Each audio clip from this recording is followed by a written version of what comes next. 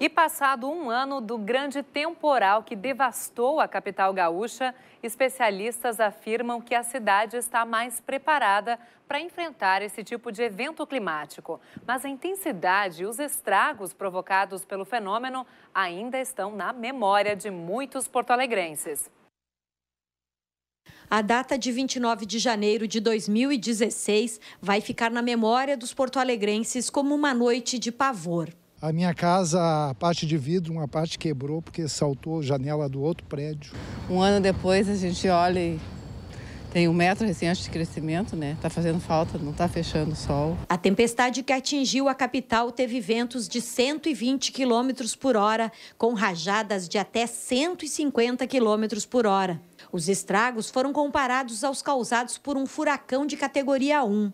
70% das residências ficaram sem luz. O abastecimento de água também foi comprometido, inclusive para hospitais. O temporal danificou mais de 3 mil árvores em toda a cidade. 1.200 tombaram nos parques, como esta aqui no Marinha do Brasil. Integrantes da Defesa Civil afirmam que essas árvores serviram como uma espécie de escudo para o bairro Menino Deus, um dos mais atingidos pelo temporal aquelas árvores, é, árvores saudáveis, árvores de grande porte, que nos defenderam.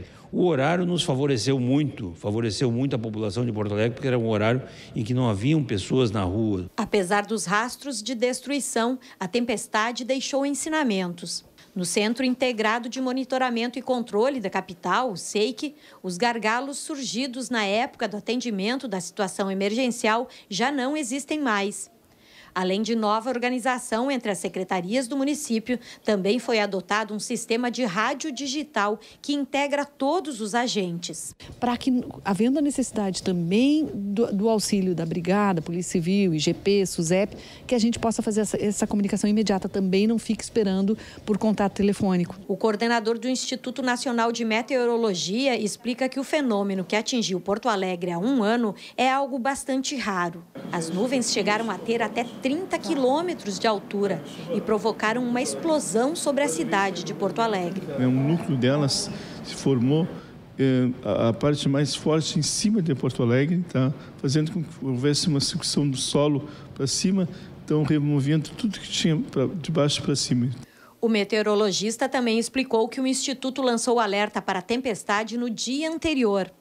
O poder de destruição da tempestade se intensificou em menos de cinco horas, pouco antes das 10 horas da noite. Segundo o meteorologista, nesse curto espaço de tempo, pouca coisa poderia ser feita para evitar os estragos.